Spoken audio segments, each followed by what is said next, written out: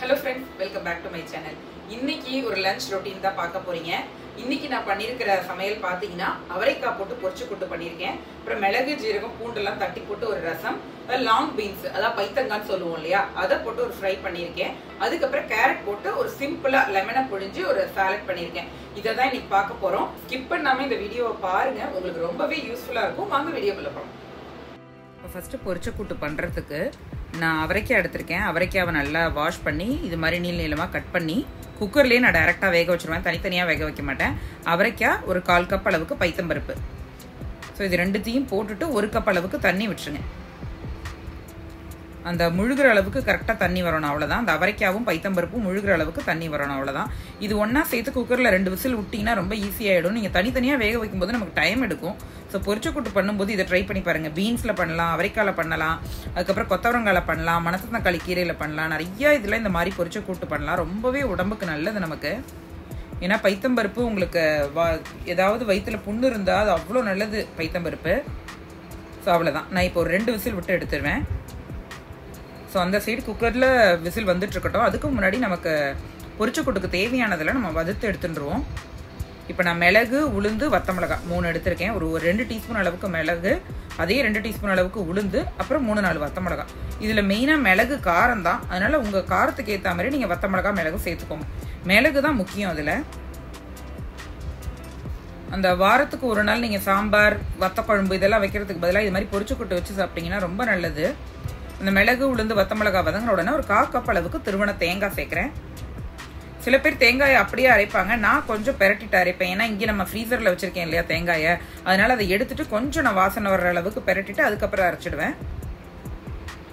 So அவ்வளோதான் அந்த மிளகு உளுந்து வத்த மிளகா தேங்காய் நல்லா வதங்கணும். இந்த அரைச்சி விட்டது தான் நம்ம இப்போ அந்த பொரிச்ச கூட்டுக்கு யூஸ் பண்ண போகிறோம் இதை நல்லா கொஞ்சோண்டு தண்ணியை விட்டு அரைச்சி எடுத்துன்னு வர போகிறோம் அவ்வளோதான் அவ்வளோதான் இப்போ மிக்சி ஜாரில் மாற்றிட்டு இந்த மாதிரி கொஞ்சோண்டு மட்டும் தண்ணி விட்டு நான் அரைச்சிட்டு வந்துட்டேன். இந்த கலரில் தான் இருக்கும். ஏன்னா நம்ம உளுந்து வத்தமிளகா ரெண்டு தான் போட்டிருக்கோம். ஸோ அதுக்கு முன்னாடி இப்போ ரசம் வைக்க போகிறேன் சும்மா மிளகு ஜீரகம் பூண்டுலாம் போட்டு தட்டி தான் இந்த ரசம் வைக்கலான் இருக்கேன். அதுக்கு நான் புளித்தண்ணி கொஞ்சோண்டு எடுத்துட்டு தக்காளி ரெண்டு மூணு பச்சை மிளகா மிளகு கொஞ்சம் போடுற போட போகிறோம் அதனால பார்த்து போட்டுக்கோங்க. கொஞ்சோண்டு ரசப்பொடி. உங்கள்கிட்ட ரசப்பொடி சாம்பார் பொடி எது இருந்தாலும் சேர்த்துக்கோங்க. நான் கடைசியில் அந்த மிளகு ஜீரக பூண்டை மட்டும் தட்டி போடுவேன். அவ்வளவுதாங்க. இந்த ரசத்துக்கு நம்ம பருப்பு தண்ணியெலாம் விட போகிறதில்ல அதனால நான் கொஞ்சோண்டு ரசப்பொடி சேர்த்துருக்கேன். ரசப்பொடி இல்லைனா சாம்பார் பொடி எது வேணாலும் நீங்கள் சேர்த்துக்கோங்க. அதுக்கப்புறம் அந்த மிளகு ஜீரகத்தை தட்டி போட போகிறோம் அந்த சைடு கொதிக்க விட்டாச்சு ரசத்தை. இந்த சைடு நமக்கு இப்போ திறந்து பார்த்தா பர்ஃபெக்டாக ரெண்டு விசில் விட்டுருக்கோம். கரெக்டாக வெந்திருக்கும் உங்களுக்கு. இப்போ இதில் நம்ம இந்த அரைச்சி வச்சுருக்கோம் இல்லையா? அந்த விழுது அப்படியே சேர்க்க வேண்டியதான் இல்லை மிளகு உளுந்து வத்த மிளகா தேங்காய். இது புளிப்பு எதுவுமே கிடையாதுங்க இதுக்கு. இந்த பைத்தம்பருப்பு அதுக்கப்புறம் என்ன காய்கறி போடுறோமோ அது அதுக்கப்புறம் இந்த அரைச்சி விட்டது அதுதான் இந்த பொரிச்ச கூட்டு இந்த பொரிச்ச கூட்டு பண்ணி பாருங்க ரொம்ப வாசனையா இருக்கும். சாதத்தோட சாப்பிட்டா அவ்வளவு நல்லா இருக்கும். கொஞ்சோண்டு நெய் விட்டு நீங்க சாப்பிட்டீங்கன்னா அவ்வளவு டேஸ்டா இருக்கும் இந்த பொரிச்ச கூட்டு இது டைம் ஆக திக்காயிடும் அதனால கொஞ்சம் நீர்க்க பண்ணிக்கோங்க. ஏன்னா பைத்தம்பருப்பு கொஞ்சம் திக்னஸ் கொடுத்துரும் டைம் ஆக அதனால ஓரளவு செமி சாலடா இதை நம்ம பண்ணிக்கணும். இது எல்லாம் வெந்திருக்கிறதுனால ஒரு ரெண்டு கொதி விட்டா நமக்கு சரியா இருக்கும். இப்போ தேவையான அளவு உப்பை போட்டுருங்க. உப்பு போட்டு நல்லா மிக்ஸ் பண்ணி விட்ருங்க ரொம்ப கொதிக்கணும்னு இல்லை. ஏன்னா அதை வறுத்து அரைச்சிருக்கோம். ஆல்ரெடி உங்களுக்கு பைத்தம்பருப்பும் அவரைக்காவும் நல்லா வெந்துருது அதனால ஒரு ரெண்டு கொதி வந்த உடனே நம்ம ஆஃப் பண்ணிட வேண்டியதான்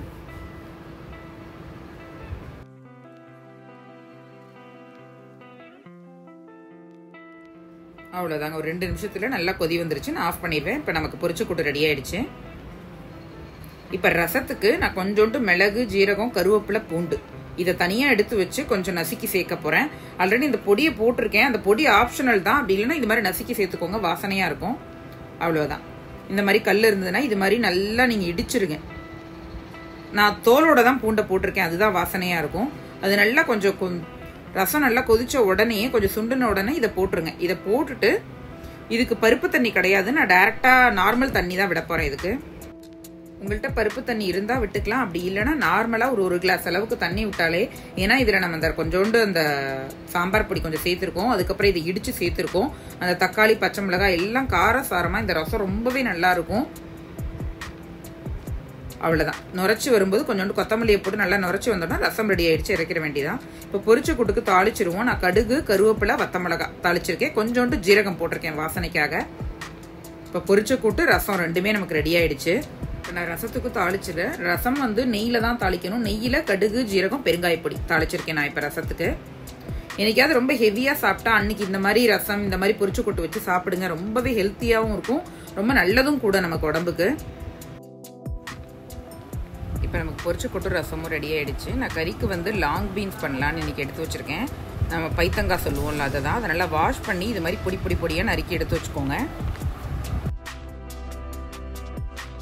எந்த அளவுக்கு கொஞ்சம் குட்டி குட்டியாக நறுக்க முடியுமோ நறுக்கிக்கோங்க. இப்போ அதை நல்லா பொடி பொடியாக நம்ம நறுக்கி எடுத்து வச்சாச்சு. இப்போ கடாயில் கொஞ்சோண்டு எண்ணெயை விட்டுக்கிறேன். நான் கடலெண்ணெயில் தான் பண்ணுவேன் எப்பொழுதுமே. ஒரு மூணு டீஸ்பூன் ஆயில் விட்டுக்கோங்க. கொஞ்சம் ஆயில் கொஞ்சம் காஞ்ச உடனே கடுகு.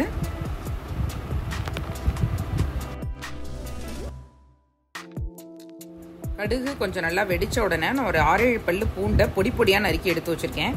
பூண்டு போடும்போது இந்த பைத்தங்காய் பண்ணும்போது ரொம்ப டேஸ்ட்டாக இருக்குங்க பூண்டு போட்டு பண்ணால் பூண்டு கொஞ்சம் கலர் சேஞ்ச் ஆன உடனே நம்ம பொடி பொடியாக நறுக்கி இருக்கிற லாங் பீன்ஸை சேர்க்குறோம். இந்த மாதிரி பண்ணி பாருங்கள் ரொம்பவே டேஸ்ட்டாக இருக்கும். ஸோ எல்லா சாதத்துக்கும் ரொம்ப நல்லாயிருக்கும் சாம்பார் சாதம் ரசம் சாதம் இது மாதிரிலாம் சாப்பிடும்போது இந்த லாங் பீன் ஃப்ரை ரொம்ப நல்லாயிருக்கும் சப்பாத்திக்கு கூட நம்ம தொட்டுட்டு சாப்பிடலாம். இது நல்லா மூடி போட்டு லாங் பீன்ஸ் நல்லா நமக்கு வேகணும். அது வரைக்கும் நல்லா குக் பண்ணிடுங்க முதல்ல இதை.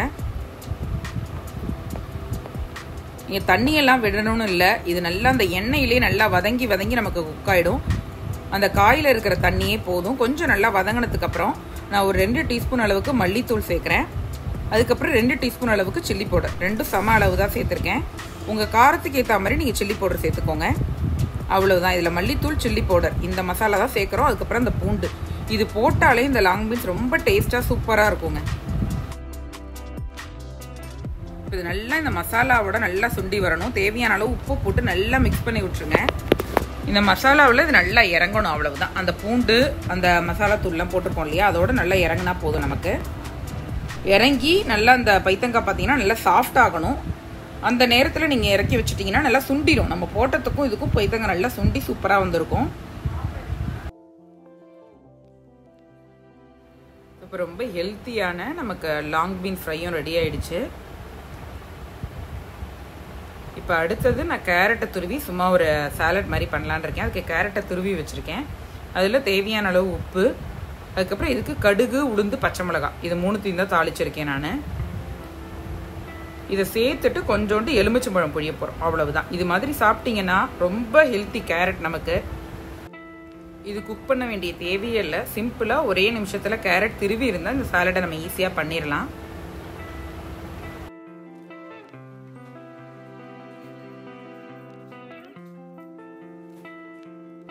ஸோ நம்ம ஹெல்த்தியான நம்ம இப்போ லஞ்ச் பிளேட் நமக்கு ரெடி ஆகிடுச்சு பொரிச்ச கூட்டு அவரைக்காய் போட்டு பண்ணியிருக்கோம்.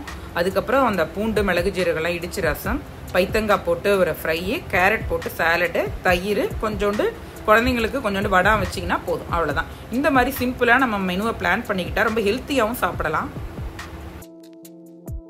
வீடியோ பார்த்துருப்பீங்க. இது ஒரு ஹெல்த்தியான லஞ்சுங்க அதாவது பொரிச்ச கொட்டு நான் அவரைக்கால பண்ணியிருக்கேன் இல்லையா? இதே பொரிச்ச கொட்டை இதே மெத்தடில் நம்ம புடலங்காயில பண்ணலாம் பீன்ஸ்ல பண்ணலாம் ஊர்ல அந்த மணத்தக்காளி கீரை கிடைக்கும் இல்லையா? அதுலயும் பண்ணலாம். ரொம்ப ஹெல்த்தியான டிஷ்ஷுங்க அதாவது பைத்தம்பருப்பு அந்த மணத்தக்காளிலாம் செய்யும்போது வயிற்றுக்கு ரொம்ப நல்லது வயிற்று புண்ணெல்லாம் ரொம்ப ஆத்தும்பாங்க. ஸோ உங்களுக்கு ஏதாவது ஹெல்தி ஹெவியாக சாப்பிட்டீங்கன்னா அந்த நேரத்தில் இந்த பொரிச்ச கூட்டு இந்த மிளகு ஜீரகம் பூண்டெல்லாம் போட்டு ரசம் வச்சேன் இல்லையா? இதெல்லாம் குடிச்சிங்கன்னா ரொம்ப நல்லது. ரசம் ரைஸாக சாப்பிட முடியல அப்படி சூப்பு மாதிரி குடிச்சிடுங்க. அப்புறம் பைத்தங்காய் கேரட் இதெல்லாம் நீங்கள் பார்த்துருப்பீங்க. இந்த வீடியோ நீங்கள் என்ஜாய் பண்ணியிருப்பீங்கன்னு நினைக்கிறேன். இந்த டிஷ் எல்லாம் உங்களுக்கு பிடிச்சிருக்கும்னு நினைக்கிறேன். கண்டிப்பாக ட்ரை பண்ணி பாருங்க. இன்னொரு இன்ட்ரெஸ்டிங்கான வீடியோட உங்கள் எல்லாரையும் நான் சந்திக்கிறேன். பாய்